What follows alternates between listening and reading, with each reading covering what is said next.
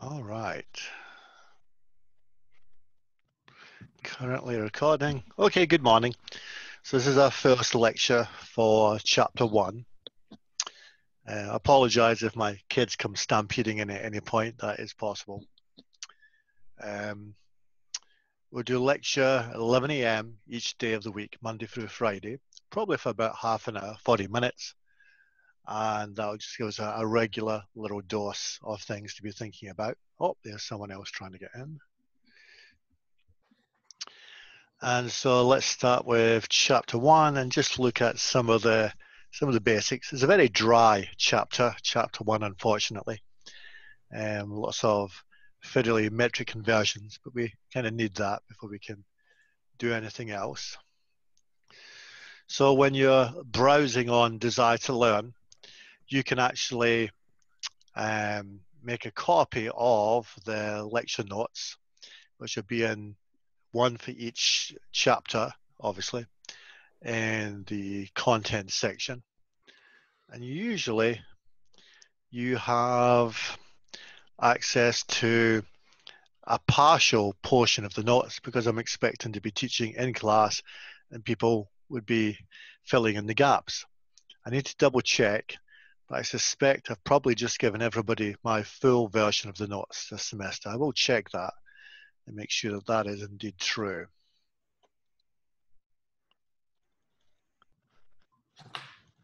Right, looks like we've got everyone who's coming this morning. so, excuse me. One of the things that and we normally do with the start of each chapter is just kind of tantalize you with some ideas which the chapter is based on, things that we will eventually be talking about in the chapter. So, for instance, um, a couple of scenarios here. Everybody see my screen, yeah? That's the other thing, you should be able to see the notes that I'm talking about. So a couple of scenarios, you enter a hospital to start your shift and you have to administer some drugs to some of your patients. 500 milligrams of uh, melphalan, 250 milligrams of Januvia, 100 milligrams of Zemax. However, the containers measure each of the drug, uh, drugs in grams, not milligrams. How would you convert that into milligrams? And what would be the appropriate amount. The courts in both North America and, and Europe are filled with cases where people didn't get enough of a drug or got way too much of a drug because someone couldn't do a simple metric conversion. So it matters in allied healthcare. Later on, you see a medical chart for a patient um, and a urine sample has a specific gravity measured at 1.05. How was this calculated? How do we create a value for this specific gravity? And what would this suggest about the patient? Is this a healthy value for a patient? Is it within acceptable limits? And if it isn't, what might it suggest about the patient's urine and therefore the patient if they have a, a value as high or low as this? That's some of the kind of things that we're going to be talking about in this chapter.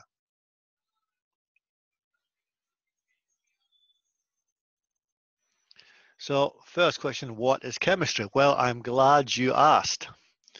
So if we can measure it, if we can um, take a mass, a volume, take its temperature, um, it's something to do with chemistry. All matter concerns chemistry and the matter and chemicals around us have been divided up into their individual elements. That's matter which has the same kind of atoms. And we describe it as being atoms for a particular element. And I'm sure you're no doubt aware of many of these elements already. Things like iron or calcium, which we need for healthy bones, oxygen, which is needed by the organs in the body. Each of these elements is made up of its own special kinds of atoms. And when we compare the atoms for one element to another, we find that they're different in some important respects. there's a lot of crossover. There's a lot of stuff which is similar, but they're unique in some way. Just like everybody you meet, or most people you meet, will have one head, two arms, two legs. Um, there will be subtle differences. Could be hair color, eye color, how tall the person is, how broad the person is. All these things come into play. So although we can all see other human beings as being part of the same species, we can distinguish from one human being to another. And that's kind of how we treat the elements. They're basically the same, and we'll talk about this in chapter two. They almost all have uh, electrons and neutrons, and of course protons, but it's a different combination, different numbers, which makes atoms for that particular element unique to that particular element. Now we list the elements in the periodic table, which I can pull up now. In an exam, you'd always be given a copy of the periodic table. You would never be expected to have the periodic table memorized.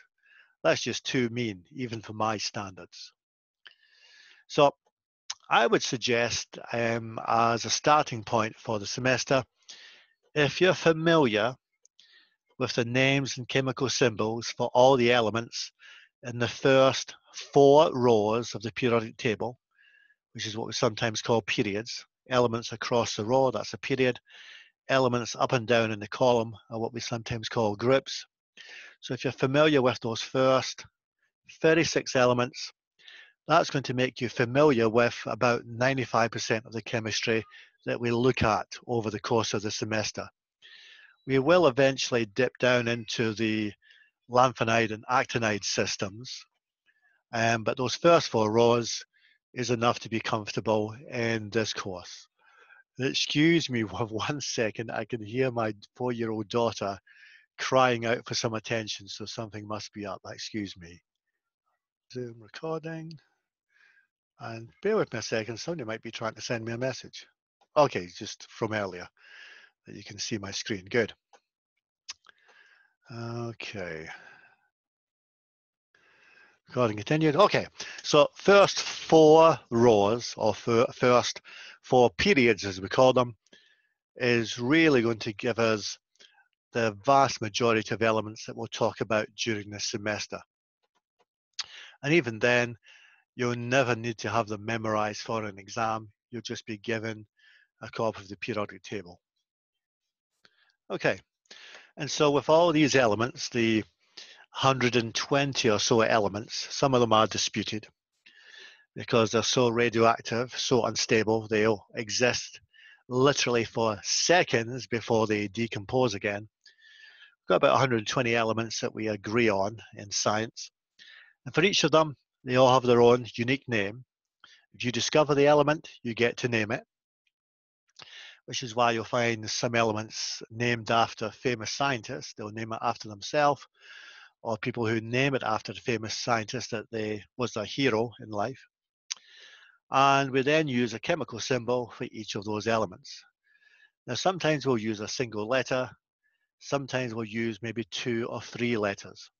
So C had been used for carbon, and so for calcium, we use Ca. We always know when we're looking at the chemical symbol for another element because we start with a capital again. So if it's two or three letters being used, it's only the first letter which is capitalized. And so when we see a chemical formula, we see the capitals and we see the beginning of a new element in that chemical formula. So these elements can be combined together to make pure compounds, chemical substances which are made up of the elements but there's only certain combinations which are possible.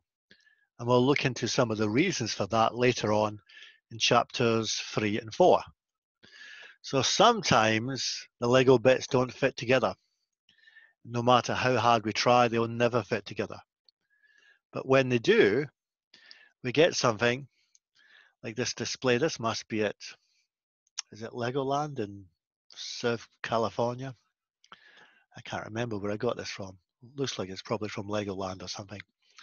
Um, when they do fit together, we get something which is better than the sum of its individual parts.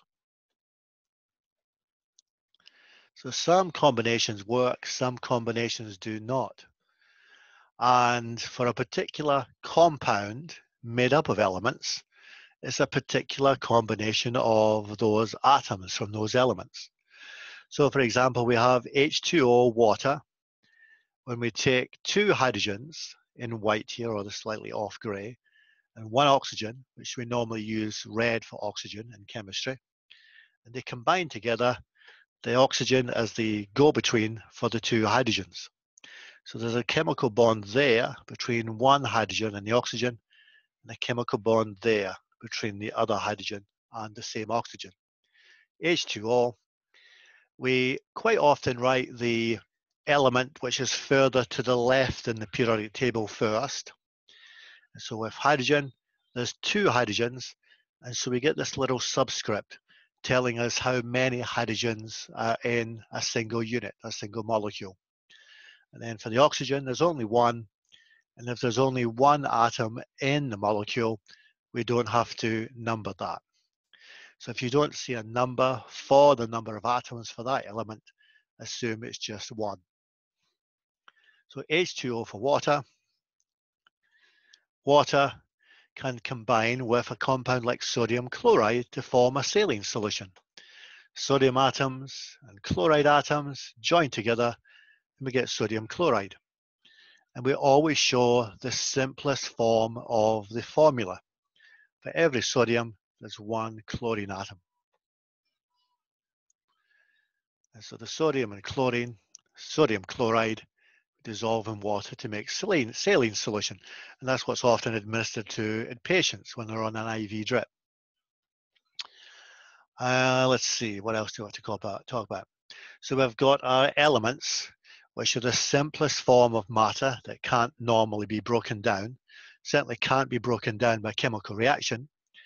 But we combine the elements to make these compounds, and we can have a pure compound made up of elements but it can be broken down by chemical reactions. However, sometimes the elements combine just to give a mixture. So we haven't formed a new chemical compound, we've just got a bunch of chemicals kind of uh, living or mixing together to form that mixture or solution. So for example, oxygen is an element and that's atoms with a very particular setup and structure inside to make up atoms of oxygen. We know it's an element because it's part of the periodic table. If it's an element, you can find it on the periodic table. But then we get compounds like carbon dioxide, CO2, although I didn't write that in the formula there for some reason. CO2 with one carbon and two oxygens each time this is a combination of the elements to make a new compound. But then the air around us that we breathe isn't a compound or an element, it's actually a mixture. Most of that mixture is nitrogen gas, about 80%. Then next we've got oxygen gas, about 20%. And then carbon dioxide, about 0.2, maybe 0.3% and a little bits of other gases mixed in like argon as well. But the main consistently seen chemicals in the air as a mixture, but they still retain their own individual formulas. They're just kind of partying together. So these mixtures, they don't have a fixed chemical formula. For example, if we were in a classroom on campus and you measured the amount of nitrogen, oxygen, and carbon dioxide at the beginning of the class and compared it to the amount of nitrogen, oxygen, and carbon dioxide at the end of the class, because of respiration in our bodies, the oxygen level would probably have gone down a little bit because we're using it up. And the carbon dioxide would probably have increased a little bit because we are producing it and exhaling it out. So these mixtures of solutions don't have a fixed composition. It can vary depending on where you are and what you add to the mixture. Also, these mixtures can be separated using, using their different physical properties. You can't separate a pure compound. You can chemically change it by chemical reactions, but you can't use filtration or solubility to filter out one carbon dioxide molecule from another carbon dioxide molecule. But with mixtures, so something like copper and iron, iron of course is magnetic, copper is not.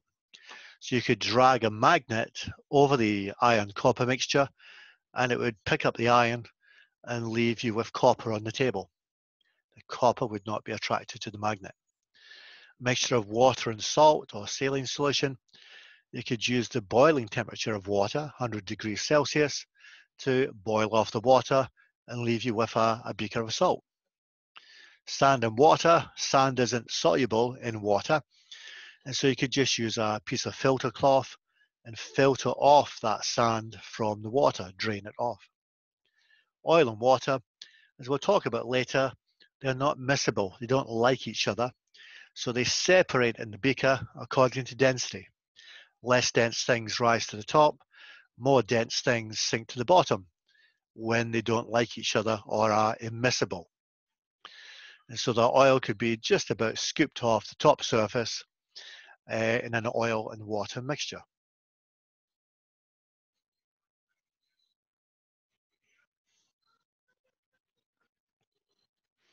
Okay, any questions or thoughts at this point?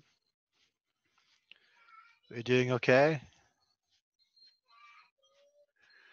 Oh, I hear my daughter again. Tell you what, let's take a five minute break. I'll see what crisis has befallen her mermaid this time. So let's take five minutes. So if people need the bathroom or want to take a drink, I'll be back shortly. Oh, there's someone else joining us. One thing to add, by the way, I just get so excited by the chemistry. If you're trying to get into the lecture and you don't seem to be getting let in because we've already started or because I'm just really old and miss it, don't be afraid to send me a text message on my phone, which is normally close by, although my daughter has it just now. It's normally close by. And if I see that text message, I will add you in. 618-364-5546. It's in the syllabus. Let's take a break for five, and then we'll do maybe an extra 10 or 15 minutes. And I remember to pause. So again, no labs this week. First labs next week, experiment one. And you can find the lab packet for experiment one on Desire to Learn in the experiments folder. Okay. So we of course talked about looking for the elements in the periodic table and the design of the periodic table is no mistake. There's a very particular order for all of the elements in the table. Now, Mendeleev, Dmitry Mendeleev, the brilliant Russian chemist many years ago, first came up with the periodic table by taking elements he could find and reacting them with a common set of chemicals and observing the chemical response, the reaction that each of the elements had with those chemicals. So starting with hydrogen, then moving on to helium, and then lithium, beryllium, etc. For all the elements he had, and he certainly didn't have all of them, he would just go through them one by one. He started by working through them by mass, although today we now think of them more correctly by atomic number, which we'll talk about in chapter two, the number of protons. And he just went through them. And every time he found an element that reacted in a similar way as hydrogen had reacted, he would start a new row, a new period of his periodic table. Go through the elements again, then finally he hits sodium, which reacts in a similar way to hydrogen and lithium after it. And so he starts a new, a new row, works through, gets to potassium, it's similar to hydrogen again, so works through the elements again, and so on and so forth. And so as he built up that periodic table, it wasn't just that hydrogen was similar to lithium, which was similar to sodium, which was similar to potassium and rubidium, etc.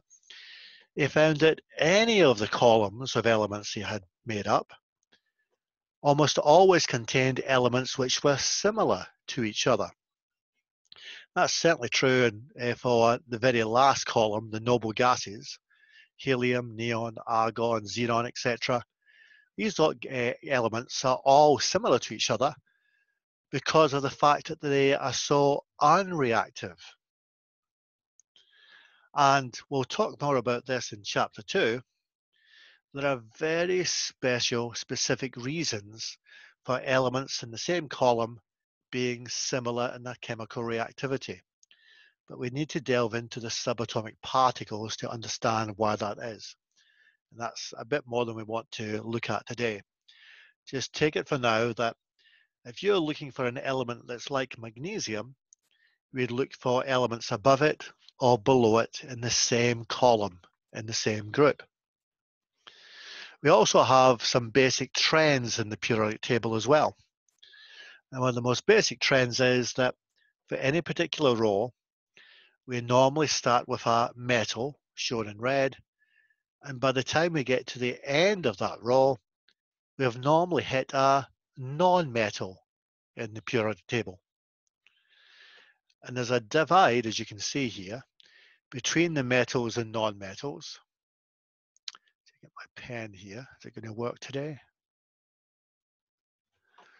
This divide. Oh, look at that. It's working. This divide in the table with elements that we call metalloids. We actually hit most of them if we start with boron in the top left corner of the right hand block. And we slide down to the right diagonally, we hit the majority of these metalloids. And add on to that germanium and antimony, and then hydrogen, which is a non-metal. But everything else to the left of that divide is a metal, and everything to the right of that divide is a non-metal. As you would expect, metals normally have a luster have a high melting point and a high boiling point, conduct electricity. These are some of the things which define metal-like uh, character. Whereas non-metals tend to be opposites. They have low melting points. They have low boiling points. Quite often so low they're actually liquids or uh, gases at room temperature. Uh, they tend to be bad conductors and they tend to not conduct heat energy either. So just clear my screen. And the metalloids are therefore elements which have a little bit of both. They have some properties like a metal, but they also have some properties like a non-metal. And these are the metalloids of the table. We'll talk more about them and these chemical trends in chapter two. Each box in the periodic table gives you some basic information for that element. For example, you get the chemical symbol for the element, one to three letters. You'll also get the atomic number, which is how we count through the elements in the table. And that's a unique number for each element.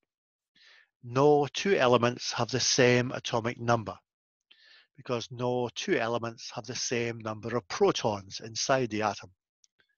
Then underneath is what we call the atomic mass unit, the mass using that arbitrary scale. You'll see just as the atomic numbers increase as we move across and down the table, the atomic mass increases as we move across and down the table. But it's not uniform. We can see elements with the same mass, but we'll never see two elements with the same atomic number. The atomic number is absolutely unique to atoms of that particular element. So as we had alluded to earlier, for chemical compounds, it's a very particular combination of elements, like carbon dioxide, one carbon with two oxygens. Interestingly, oxygen is what we call a diatomic gas. It likes to hang out with another oxygen to make a molecule doesn't like to be on its own, it's always looking for a partner. So chemically, it forms its own little unique molecule or units of oxygen gas. A carbon comes flying in and sticks itself in between the two oxygens to form carbon dioxide. So it's always one carbon and two oxygens to make carbon dioxide, as we said. But sometimes we can play around with the formula to make a different chemical compound. For instance, if we increase the amount of carbon or decrease the amount of oxygen, we can get carbon monoxide. Now, one carbon, one oxygen, different formula, different combination of those elements, so it's a different and unique chemical compound. We, we need oxygen to live. Carbon monoxide is a poison and will kill us eventually. So different formulas mean a different chemical compound, uh, very different chemical properties for these different compounds. Now, of course, quite often we won't be lo looking at a single molecule or a single uh, unit of a compound. We often have large quantities. And so when we want to list how much of the compound or element we have, how many units, we use numbers at the beginning of the chemical formula. So a coefficient of 4 telling us that we have one, two, three, four molecules of H2O, water. A number in the front of 3 telling us we have one, two, three units of carbon dioxide. Formula showing us that it's one carbon and two oxygens per unit. On nitrogen gas, N2, that's two atoms of nitrogen per unit and then the two in the front telling us that there's two of those units of nitrogen gas. As we'd said before, we can take pure elements, combine them chemically to make new compounds with a distinct formula, like NaCl for sodium chloride, but then we can mix them with, mix them with liquids like water to form a solution. Okay. that I think is probably a good point to stop for today. So a fairly simple start. Um, it is a bit of a dry chapter, chapter one. I do apologize. There's just no way around it. We'll go on tomorrow. Let's see what we'll be looking at tomorrow. We'll look at the states of matter, solids, liquids, and gases, and the forces of attraction between molecules which dictate what kind of state we have We'll look at chemical reactions. And we might, yeah, I think we might get into the metric system, which is the big piece for the chapter. Probably do the, a little bit of the metric system tomorrow and maybe again on Friday. Okay. Any questions before people disappear? Everyone still awake? Maybe? Okay. Uh, let's see. Um, Chem Talk video will go up sometime around 12 o'clockish today. Um, I don't plan on having a um, question of the day video yet. We'll get through some chemistry, through some ideas, and then those questions of the day videos will appear. Basically, Chem Talk videos talk about the theory for the most part, questions of the day, talk about a particular problem, and using that theory to come up with an answer to the problem. Okay, thanks everybody who kept me company today. Uh, don't forget my number for texting or email me at dry at hotmail, hot, hotmail.com if I can say it properly. And I'll hopefully see everybody tomorrow.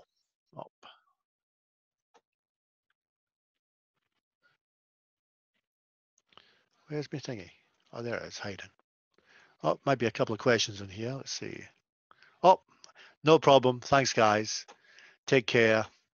Wash your hands.